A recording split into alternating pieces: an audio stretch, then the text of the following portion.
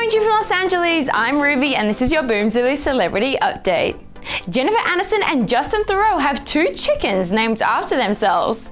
The couple have admitted that they could not come up with any more names for all of their livestock because they have just too many at their Bel Air mansion. Meanwhile, the actress admits she still is not used to wearing her 8 carat diamond engagement ring. Conrad Hilton has been sentenced to three years probation.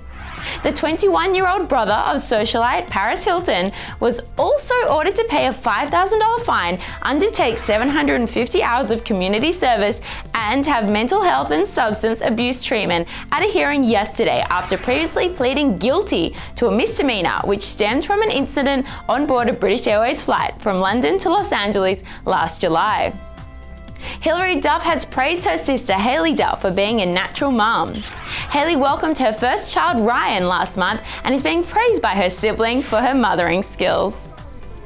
To see your photos and videos featured on Boomzulu, upload them via boomzulu.com or via the Boomzulu app. I'm Ruby and for the most up-to-date celebrity news, check out boomzulu.com.